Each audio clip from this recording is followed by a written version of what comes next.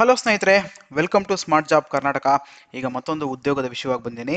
ಭಾರತ ಸರ್ಕಾರ ರಕ್ಷಣಾ ಸಚಿವಾಲಯ ಅಡಿಯಲ್ಲಿ ಬರುವ ಮಾಜಿ ಸೈನಿಕರ ಅಂಶುದಾಯಿ ಆರೋಗ್ಯ ಯೋಜನೆಯಲ್ಲಿ ನೇಮಕವನ್ನು ಮಾಡ್ಕೊಳ್ತಾರೆ ಅಂದರೆ E C H S L ಅಂತ ಹೇಳಿ ಹೇಳ್ತಾರೆ. ಯಲಂಕದಲ್ಲಿ ನೇಮಕಾತಿ ಪ್ರಕರಣ ಬಂದಿರುವಂಥದ್ದು ದೂರವಾಣಿ ಸಂಖ್ಯೆಯನ್ನು ಕೂಡ ಮೊದಲನೇದಾಗಿ ಕೊಡ್ತಾ ಇದ್ದಾರೆ ಒಂದು ದೂರವಾಣಿ ಸಂಖ್ಯೆ ಕೂಡ ನೀವು ನೋಟ್ ಮಾಡ್ಕೊಬೋದು. ಇಮೇಲ್ ಐ ಡಿಯನ್ನು ಕೂಡ ಇಲ್ಲಿ ಕೊಡ್ತಾ ಇದ್ದಾರೆ ದೂರವಾಣಿ ಸಂಖ್ಯೆಯನ್ನು ಹೇಳ್ತಾ ಇದ್ದೀನಿ ನೋಡಿ. ಸೊನ್ನೆ ಎಂಟು ಸೊನ್ನೆ ಮಾಡಿ ಎರಡು ಎಂಟು ನಾಲ್ಕು ಏಳು ಎಂಟು ಸೊನ್ನೆ ಎಂಟು ಎಂಟು ಈ ಒಂದು ದೂರವಾಣಿ ಸಂಖ್ಯೆನ ನೀವು ನೋಟ್ ಮಾಡ್ಕೋಬೇಕು. ನೋಡಿ ಇಲ್ಲಿ ವೈದ್ಯಕೀಯ ಪ್ಯಾರಾಮೆಡಿಕಲ್ಸ್ ಮತ್ತು ವೈದ್ಯಕೀಯ ವೈದ್ಯಕೀಯೇತರ ಸಿಬ್ಬಂದಿಯನ್ನು ನೇಮಕವನ್ನು ಮಾಡ್ಕೊಳ್ತಾ ಇದ್ದಾರೆ. Two into E H S polyclinics Yelahanka ಮತ್ತು ಕೋಲಾರದಲ್ಲಿ ನೇಮಕವನ್ನು ಮಾಡ್ಕೊಳ್ತಾ ಇದ್ದಾರೆ. ಯಲಂಕ ಮತ್ತು ಕೋಲಾರದಲ್ಲಿ ನೇಮಕವನ್ನು ಮಾಡ್ಕೊಳ್ತಾ ಇರುವಂಥದ್ದು ಇದು ಗುತ್ತಿಗೆ ಆಧಾರದ ಮೇಲೆ ನೇಮಕವನ್ನು ಮಾಡ್ಕೊಳ್ತಾ ಇರೋದು ಕೂಡ ನೀವು ಬಹಳ ಮುಖ್ಯವಾಗಿ ನೋಡ್ಕೋಬೇಕು. ಅರ್ಜಿಗಳನ್ನು ಆಹ್ವಾನಿಸಲಾಗಿದೆ. ಅಭ್ಯರ್ಥಿಗಳು, ಷರತ್ತುಗಳು ಪ್ರತಿ ಪೋಸ್ಟ್ಗೆ ವಿರುದ್ಧವಾಗಿ ನಮೂದಿಸಿರುವ ಮಾನದಂಡಗಳ ಪ್ರಕಾರ ಅಂತ ಕೂಡ ಇಲ್ಲಿ ಕೊಡ್ತಾ ಇದ್ದಾರೆ. ಬನ್ನಿ ಏನೇನು ಅರ್ಹತೆಗಳಿದೆ ಅಂತ ಹೇಳಿ ನೋಡ್ತಾ ಹೋಗೋಣ. ಮೊದಲನೇದಾಗಿ ವೈದ್ಯಾಧಿಕಾರಿಗಳು ಡಾಕ್ಟರ್ಸ್ ಕಡೆ ತಗೊಳ್ತಾ ಇದ್ದಾರೆ M B B S internship ಕನಿಷ್ಠ ಐದು ವರ್ಷಗಳ ಸೇವಾ ಅನುಭವ ಅಂತ ತಗೊಳ್- ತಗೊಳ್ತಾ ಇದ್ದಾರೆ ಮತ್ತೆ ಪಿ ಸಿ ಯಲಂಕ ಯಲಂಕದಲ್ಲಿ ನೇಮಕವನ್ನು ಮಾಡ್ಕೊಳ್ತಾ ಇದ್ದಾರೆ ಎರಡು ಹುದ್ದೆಗಳಿರುವಂಥದ್ದು ಕೋಲಾರದಲ್ಲಿ ಒಂದು ಹುದ್ದೆ. ಸೊ ಇವರಿಗೆ ಎಪ್ಪತ್ತೈದು ಸಾವಿರ ವೇತನವನ್ನು ಇಲ್ಲಿ ಕೊಡ್ತಾರೆ. ದಂತ ವೈದ್ಯರು ಮತ್ತೆ ಔಷಧಿ ಔಷಧ ಪರಿಚಾರಕ ಅಂತ ಹೇಳಿ ಬಿ ಫಾರ್ಮಾ ಮಾಡಿರೋರಿಗೆ ಅವಕಾಶವನ್ನು ಕೊಡ್ತಾ ಇದ್ದಾರೆ ಅಥವಾ ಪಿ ಯು ಸಿ ಜೊತೆಗೆ ಪಿ ಮಾಡಿ ಡಿಪ್ಲೊಮೊ ಫಾರ್ಮಸಿ ಮಾಡಿರೋರು ಕೂಡ ಅಪ್ಲೈ ಮಾಡ್ಕೊಬೋದು. ಕನಿಷ್ಠ ಐದು ವರ್ಷಗಳ ಅನುಭವ ಅಂತ ಹೇಳಿ ಕೇಳಿದರೆ, ಇಲ್ಲಿ ಕೋಲಾರದಲ್ಲಿ ಒಂದು ಹುದ್ದೆ ಇರುವಂಥದ್ದು. ಇವರಿಗೆ ಇಪ್ಪತ್ತೆಂಟು ಸಾವಿರದ ನೂರು ರೂಪಾಯಿ ವೇತನವನ್ನು ಇಲ್ಲಿ ಕೊಡ್ತಾ ಇರುವಂಥದ್ದು. ನೆಕ್ಸ್ಟು ನರ್ಸ್ಗಳಿಗೆ ತಗೊಳ್ತಾ ಇದ್ದಾರೆ G N M diploma class one nurse ಅಂತ ಕೂಡ ಕೊಡ್ತಾ ಇದ್ದಾರೆ ಕನಿಷ್ಠ ಐದು ವರ್ಷಗಳ ಸೇವಾನುಭವ ಅಂತ ಕೊಡ್ತಾ ಇದ್ದಾರೆ ಒಂದು ಹುದ್ದೆ ಇರುವಂಥದ್ದು ಇಪ್ಪತ್ತೆಂಟು ಸಾವಿರದ ನೂರು. ಆ, ಪ್ರ ಪ್ರಯೋಗಾಲಯ lab technicians B S C medical lab technology ಅಥವಾ ಪಿ ಯು ಸಿ ಜೊತೆಗೆ ವಿಜ್ಞಾನ ಮತ್ತು ಡಿ ಎಂ ಎಲ್ ಟಿ ಕನಿಷ್ಠ ಮೂರು ವರ್ಷಗಳ ಕೆಲಸ ಅಂತ ಹೇಳಿ ಕೇಳಿದ್ದಾರೆ. ಸೊ ಬೆಂಗಳೂರಿನಲ್ಲಿ ಯಲಂಕದಲ್ಲಿ ಒಂದು ಕೋಲಾರದಲ್ಲಿ ಒಂದು ಇಪ್ಪತ್ತೆಂಟು ಸಾವಿರದ ನೂರು ವೇತನವನ್ನು ಕೊಡ್ತಾರೆ. ಮತ್ತು ಪ್ರಯೋಗಾಲಯ ಸಹ ಸಹಾಯಕ ಹೆಲ್ಪರ್ಸ್ಗೆ D M L T class one laboratory tech ಕೋರ್ಸನ್ನು ಮಾಡಿರೋಂಥವ್ರು ಅಪ್ಲೈ ಮಾಡ್ಕೊಬೋದು. ಕನಿಷ್ಠ ಐದು ವರ್ಷಗಳ ಕೆಲಸದ ಅನುಭವ ಯಲಂಕದಲ್ಲಿ ಒಂದು ಹುದ್ದೆ ಇಪ್ಪತ್ತೆಂಟು ಸಾವಿರದ ನೂರು ವೇತನವನ್ನು ಕೊಡ್ತಾರೆ. ಮತ್ತು ಗುಮಾಸ್ತ ಕ್ಲರ್ಕ್ಸ್ಗೆ ತಗೊಳ್ತಾ ಇದ್ದಾರೆ ಪದವೀಧರರನ್ನ ತಗೊಳ್ತಾ ಇರುವಂಥದ್ದು ಕ್ಲರಿಕಲ್ ಟ್ರೇಡ್ ಅಡಿಯಲ್ಲಿ ತಗೊಳ್ತಾ ಇದ್ದಾರೆ ಕನಿಷ್ಠ ಐದು ವರ್ಷಗಳ ಸಿಲ ಕೆಲಸದ ಅನುಭವ ಅಂತ ಕೆಲಸದ ಅನುಭವ ಅಂತ ಹೇಳಿ ಕೇಳ್ತಾ ಇರುವಂಥದ್ದು ಫೈವ್ ಇಯರ್ಸ್ ಎಕ್ಸ್ಪೀರಿಯನ್ಸ್ ಡಿಗ್ರಿ ಆಗಿರೋರು ಪ್ರಯತ್ನವನ್ನು ಪಡ್ಬೋದು. ಯಲಂಕದಲ್ಲಿ ಒಂದು ಮತ್ತೆ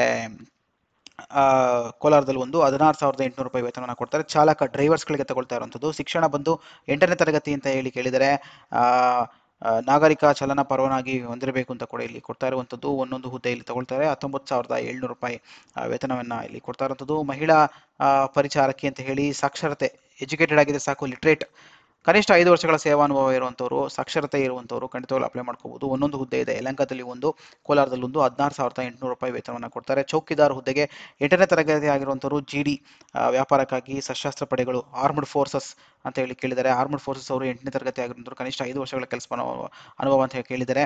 ಕೋಲಾರದಲ್ಲಿ ಒಂದಿದೆ, ಹದಿನಾರು ಸಾವಿರದ ಎಂಟುನೂರು ರೂಪಾಯಿ ಇರುವಂಥದ್ದು ಮತ್ತು ಪ್ಯೂನ್ ಹುದ್ದೆಗೆ ತಗೊಳ್ತಾ ಇದ್ದಾರೆ.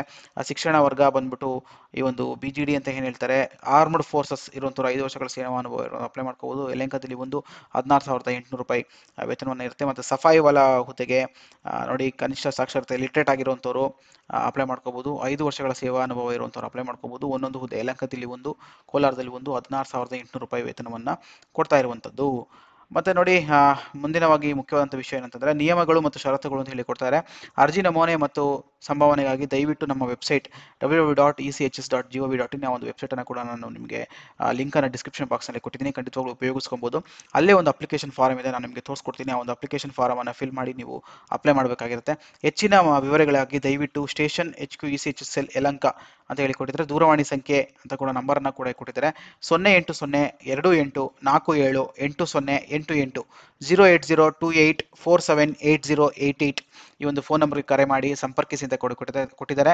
ಮತ್ತು ಇಮೇಲನ್ನು ಕೂಡ ಕೊಡ್ತಾ ಇರುವಂಥದ್ದು E C H S Y E L at Gmail dot com so ಈ ಒಂದು ಮೇಲ್ ಐ ಡಿ ಕೂಡ ಕೊಟ್ಟಿದ್ದಾರೆ. ವಿವರಗಳಿಗಾಗಿ ಸಂಬಂಧಿಸಿದ ಪಾಲಿಕ್ಲಿನಿಕ್ ಅನ್ನು ಸಹ ಸಂಪರ್ಕಿಸಿ ಮಾಜಿ ಸೈನಿಕರಿಗೆ ಆದ್ಯತೆ ನೀಡಲಾಗುವುದು. ಖಂಡಿತವಾಗ್ಲೂ ಎಕ್ಸ್ ಸರ್ವಿಸ್ ಮೆನ್ಸ್ ಅವರಿಗೆ ಹೆಚ್ಚಿನ ಆದ್ಯತೆಯನ್ನು ಕೊಡ್ತಾರೆ ಅಂತ ಕೂಡ ಇಲ್ಲಿ ಕೊಡ್ತಾರೆ. ಮಿಕ್ಕಿದವರು ಕೂಡ ಒಂದು ಪ್ರಯತ್ನವನ್ನು ಪಡಬಹುದಾಗಿದೆ ನಮ್ಮ ವೆಬ್ಸೈಟ್ನಲ್ಲಿ ನೀಡಿರುವ ಸ್ವರೂಪದ ಪ್ರಕಾರ ಅರ್ಜಿಯನ್ನು ಸ್ವೀಕೃತಿ ಅಂತ ಕೂಡ ಕೊಟ್ಟಿದ್ದಾರೆ. ಖಂಡಿತವಾಗ್ಲೂ ಅಪ್ಲಿಕೇಶನ್ ಫಾರ್ಮೆಟ್ ಇದೆ. ಆಸಕ್ತಿ ಇರುವಂಥವ್ರು ಅಪ್ಲೈ ಮಾಡ್ಕೊಬೋದು. ನೋಡಿ, ಅರ್ಜಿಯನ್ನು O I C station H Q U C H S cell Yelahanka ನಾಲ್ಕನೇ ಮಾರ್ಚ್ ಎರಡು ಸಾವಿರದ ಇಪ್ಪತ್ತ್ಮೂರು ನಕಲು ಮೂಲ, ಮೂಲಕ ಸಲ್ಲಿಸಲಾಗು, ಸಲ್ಲಿಸಲಾಗುತ್ತದೆ. ನಾಲ್ಕು ಮಾರ್ಚ್ ಎರಡು ಸಾವಿರದ ಇಪ್ಪತ್ತ್ಮೂರರ ನಂತರ ಸ್ವೀಕರಿಸಿದ ಯಾವುದೇ ಅರ್ಜಿಗಳನ್ನು ಸ್ವೀಕರಿಸಲಾಗುವುದಿಲ್ಲ ಅಂತ ಕೂಡ ಇಲ್ಲಿ ಕೊಡ್ತಾರೆ. ಖಂಡಿತವಾಗ್ಲೂ ನಾಲ್ಕನೇ ತಾರೀಕು ಮಾರ್ಚ್ ಎರಡ್ ಸಾವಿರದ ಇಪ್ಪತ್ತ್ಮೂರು ಕೊನೆಯ ದಿನಾಂಕ ಆಗಿರುತ್ತೆ. ಈ ಎಲ್ಲ ಅರ್ಜಿಗಳನ್ನು ಹಾಕೋದಕ್ಕೆ ಅನ್ನೋದು ಕೂಡ ಇಲ್ಲಿ ಕೊಡ್ತಾ ಇದ್ದಾರೆ. ಸಂದರ್ಶನ ಮತ್ತು ದಿನಾಂಕ ಎಲ್ಲವನ್ನು ಕೂಡ ಇಲ್ಲಿ ಕೊಡ್ತಾ ಇರುವಂಥದ್ದು. ಮೆಡಿಕಲ್, ಡೆಂಟಲ್ ಆಫೀಸರ್, ಪ್ಯಾರಾಮೆಡಿಕಲ್ ವರ್ಗಕ್ಕೆ ಅಭ್ಯರ್ಥಿಗಳು ಮಾರ್ಚ್ ಒಂಬತ್ತನೇ ತಾರೀಕು ಇರುವಂಥದ್ದು ಯಲಂಕದಲ್ಲಿ ತಲುಪಬೇಕು ಅಂತ ಕೂಡ ಕೊಡ್ತಾರೆ ವೈದ್ಯಾಧಿಕಾರಿಗಳು ಕೂಡ ಸಮಯವನ್ನು ಕೊಡ್ತಾರೆ. ಖಂಡಿತವಾಗ್ಲೂ ಇದನ್ನು ನೀವು ನೋಡ್ಕೊಬೇಕಾಗಿರುತ್ತೆ. ಅವರಿಗೆ ಒಂಬತ್ತು ಮತ್ತು ಹತ್ತನೇ ತಾರೀಕು ಇರುವಂಥದ್ದು. ಮತ್ತೆ ನೋಡಿ ಅಭ್ಯರ್ಥಿಯು ಎಲ್ಲ ಮೂಲ ಪ್ರಮಾಣ ಪತ್ರ ಮಾರ್ಕ್ ಶೀಟು ಟೆಂತು ಮೆಟ್ರಿಕ್ಕು ಈ ರೀತಿಯಾಗೆಲ್ಲ ಕೇಳಿದ್ದಾರೆ ಸಾಕ್ಷರತೆ ಇರೋರು ಏನು ಬೇಕಾಗಿಲ್ಲ ಅಪ್ಲಿಕೇಶನ್ ಫಾರಮನ್ನು ನೀವು ತಗೊಂಡೋದ್ರೆ ಸಾಕು.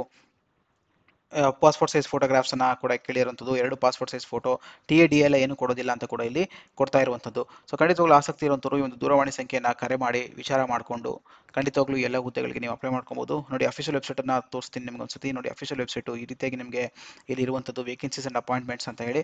ನೋಡಿ, ಇಲ್ಲಿ ನಿಮಗೆ ಡೌನ್ಲೋಡ್ ಸಿಗುತ್ತೆ ಅಪ್ಲಿಕೇಶನು ಇದು ಇವತ್ತಿನ ಪತ್ರಿಕೆಯಲ್ಲಿ ಬಂದಂಥ ಒಂದು ಪ್ರಕಟಣೆ ಆಗಿರುತ್ತೆ. ನೋಡಿ, ಒಂದು ಅಪ್ಲಿಕೇಶನ್ ಫಾರಮು ನೀವು ಇಲ್ಲಿ ಡೌನ್ಲೋಡ್ ಮಾಡ್ಕೊಬೇಕಾಗಿರುತ್ತೆ. ನೋಡಿ ಒಂದು ಅಪ್ಲಿಕೇಶನ್ ಫಾರಮನ್ನು ಫಿಲ್ ಮಾಡಬೇಕು. ಪೋಸ್ಟ್ ಅಪ್ಲೈ ಫಾರ್ ಸಫಾಯಿ ವಾಲಾ ಅಂತ ಹೇಳಿ ಇಲ್ಲಿ ಬರಿಬೇಕಾಗುತ್ತೆ. ಸಫಾಯಿ ವಾಲಾ ಹುದ್ದೆಗೆ ಅಪ್ಲೈ ಮಾಡಿದ್ದೀನಿ. Name of the polyclinic applied ಯಾವ ಒಂದು ಪಾಲಿಕ್ಲಿನಿಕ್ ಅಪ್ಲೈ ಮಾಡ್ತಾ ಇದ್ದೀರಾ? Yelahanka E C H S L Yelahanka ಅಥವಾ ಕೋಲಾರ, ಈ ರೀತಿಯಾಗಿ ನೀವು ಇಲ್ಲಿ ಬರೀಬೇಕು. ನಿಮ್ಮ ಹೆಸರನ್ನು ಬರೀಬೇಕು. ಎಕ್ಸ್ ಸರ್ವಿಸ್ ಮೆನ್ ಇದ್ದರೆ ಎಕ್ಸ್ ಸರ್ವಿಸ್ ಮೆನ್ ನಂಬರು ಮತ್ತು ರ್ಯಾಂಕನ್ನು ಇಲ್ಲಿ ಬರೀಬೇಕಾಗಿರುತ್ತೆ. ಇಲ್ಲ ಅಂದರೆ ಇದೇನು ಬರೆಯೋದು ಬೇಕಾಗಿಲ್ಲ. ಡೇಟ್ ಆಫ್ ಬರ್ತು ಮತ್ತು ಸೆಕ್ಸ್ ಮೇಲ್ ಅಥವಾ ಫೀಮೇಲ್ ಅನ್ನೋದನ್ನ ಇಲ್ಲಿ ಬರೀಬೇಕು. ಪುರುಷ ಅಥವಾ ಮಹಿಳಾ ಅಭ್ಯರ್ಥಿನ ಅಂತ ಹೇಳಿ ಇಲ್ಲಿ ಬರೀಬೇಕಾಗುತ್ತೆ. ಪೋಸ್ಟಲ್ ಅಡ್ರೆಸ್ ಅನ್ನು ನೀವು ಇಲ್ಲಿ ಬರೀಬೇಕಾಗಿರುತ್ತೆ. ಮತ್ತೆ ಎಜುಕೇಶನ್ ಕ್ವಾಲಿಫಿಕೇಶನ್ಸ್ ಇದೆ. ಕ್ವಾಲಿಫಿಕೇಶನ್ಸ್ ಅನ್ನ ಕೊಡಬೇಕಾಗಿರುತ್ತೆ. ಟೆಂತ್ ಮಾಡಿರೋರು ಸೆವೆಂತ್ ಮಾಡಿರೋರು ಏಯ್ತ್ ಮಾಡಿರೋರು ಅದನ್ನ ಹಾಕಿ ನೀವು ಒಂದು ಜೆರಾಕ್ಸ್ ಕಾಪಿಯನ್ನು ಇದಕ್ಕೆ ಹಾಕಬೇಕಾಗುತ್ತೆ. ಎಕ್ಸ್ಪೀರಿಯನ್ಸು ಅನುಭವವನ್ನು ಕೇಳಿದರೆ ಅನುಭವ ಇರುವಂಥವ್ರು ಯಾವ ಒಂದು ಆಸ್ಪತ್ರೆ ಅಥವಾ ಎಲ್ಲಿ ಕೆಲಸ ಮಾಡಿದ್ದೀರಾ ಅನ್ನೋದನ್ನು ಕೂಡ ನೀವು ಒಂದು ಸರ್ಟಿಫಿಕೇಟನ್ನು ಹಾಕಬೇಕಾಗಿರುತ್ತೆ. ಬಹಳ ಮುಖ್ಯವಾಗಿ ಮತ್ತೆ ಏನಾದರೂ ಆನರ್ಸ್ ಅವಾರ್ಡ್ಸ್ ಯಾವುದೋ ಒಂದು ಪ್ರಶಂಸಾ ಪತ್ರಗಳಿದ್ದರೆ ಅದು ಕೂಡ ನೀವು ಹಾಕ್ಬೋದು. ಈ ಎಲ್ಲವನ್ನು ಹಾಕಿ ನೀವು ಈ ಒಂದು ಅಪ್ಲಿಕೇಶನ್ ಫಾರಮನ್ನು ಅಲ್ಲಿ ತಲುಪಿಸ್ಬೋದಾಗಿದೆ. ಮತ್ತು ನೋಡಿ ಕಂಡೀಷನ್ಸ್ ಎಲ್ಲ ಕೂಡ ಇಲ್ಲಿ ಕೊಡ್ತಾ ಇದ್ದಾರೆ ಈ ಕಂಡೀಷನ್ಸು ಎಲ್ಲವನ್ನು ಕೂಡ ನೀವು ನೋಡ್ಕೋಬೋದು. ರಜೆಗಳು ಯಾವ ರೀತಿಯಾಗಿರುತ್ತೆ ಅನ್ನೋದು ಎಲ್ಲವನ್ನ ಕೂಡ ಇಲ್ಲಿ ಕೊಟ್ಟಿದ್ದಾರೆ. ಮತ್ತೆ ನೋಡಿ ಟರ್ಮ್ಸ್ ಆ್ಯಂಡ್ ಕಂಡೀಷನ್ಸ್ ಯಾವ ಯಾವ ಹುದ್ದೆಗೆ, ನೋಡಿ ಡಾಕ್ಯುಮೆಂಟ್ಸ್ಗಳು ಏನೇನು ಕೊಡಬೇಕು ಅಂತ ಕೂಡ ಕೊಟ್ಟಿದ್ದಾರೆ. Details of documents required one set Aadhaar card PAN card tenth certificate twelfth certificate eighth ಮಾಡಿರೋರು ಏಯ್ತ್ ಗ್ರಾಜುಯೇಷನ್ ಮಾಡಿರೋರು ಗ್ರಾಜುಯೇಷನ್ ಎಲ್ಲವನ್ನ ಕೂಡ ಕೇಳಿದ್ದಾರೆ. ಡ್ರೈವಿಂಗ್ ಲೈಸೆನ್ಸ್ ಇರುವಂಥವ್ರು ಡ್ರೈವಿಂಗ್ ಲೈಸೆನ್ಸನ್ನು ಕೊಡಬೇಕಾಗುತ್ತೆ. ಮತ್ತೆ ಡಿಸ್ಚಾರ್ಜ್ ಬುಕ್ಕು ಎಲ್ಲವನ್ನ ಕೇಳಿದ್ರೆ ಅಂದರೆ ex service man only ex service man ಅವ್ರಿಗೆ ಮಾತ್ರ experience certificate experience certificate medical fitness certificate ಅನ್ನು ಕೂಡ ಕೊಡಬೇಕಾಗುತ್ತೆ. ಮತ್ತೆ no objection certificate from the current employer if applicable so ಇದು ಎಲ್ಲರೂ ಕೂಡ ಸಂಬಂಧಪಡೋದಿಲ್ಲ ಯಾರು ಈಗ ಗೌರ್ಮೆಂಟ್ ಆಗಿ ಎಂಪ್ಲಾಯಿ ಕೆಲಸ ಮಾಡ್ತಿರ್ತೀರೋ ಅವ್ರಿಗೆ ಮಾತ್ರ ನೋ ಅಬ್ಜೆಕ್ಷನ್ ಇರುತ್ತೆ. ಮಿಕ್ಕಿದವರೆಲ್ಲ ಹಾಗೆ ನೀವು ಅಪ್ಲೈ ಮಾಡ್ಕೊಬೋದಾಗಿದೆ ಸೊ ಖಂಡಿತವಾಗ್ಲೂ ಟರ್ಮ್ಸ್ ಅನ್ನು ನೋಡಿ, ಇಲ್ಲೂ ಕೂಡ ಕ್ವಾಲಿಫಿಕೇಶನ್ಸ್ ಎಲ್ಲ ಕೊಟ್ಟಿದ್ದಾರೆ. ಸೊ ಈ ಒಂದು ಕ್ವಾಲಿಫಿಕೇಶನ್ಸ್ ಅನ್ನ ನೀವು ಇಲ್ಲೂ ಕೂಡ ಒಂದು ಸರಿ ನೋಡಿಕೊಂಡು ನೀವು ಇಲ್ಲಿ ಅಪ್ಲೈ ಮಾಡ್ಬೋದು ಮಾಡ್ಬೋದಾಗಿದೆ. ಈ ಒಂದು ಲಿಂಕ್ ಅನ್ನು ಕೂಡ ನಾನು ಡಿಸ್ಕ್ರಿಪ್ಷನ್ ಬಾಕ್ಸಲ್ಲಿ ಕೊಟ್ಟಿದ್ದೀನಿ. ಖಂಡಿತವಾಗ್ಲೂ ಆಸಕ್ತಿ ಇರೋ ಅಪ್ಲೈ ಮಾಡ್ಕೊಬಹುದು ಅಂತ ಹೇಳ್ತಾ ಈ ಒಂದು ವಿಡಿಯೋನ ಮುಗಿಸ್ತಾ ಇದ್ದೀನಿ. ಧನ್ಯವಾದಗಳು. Thank you very much bye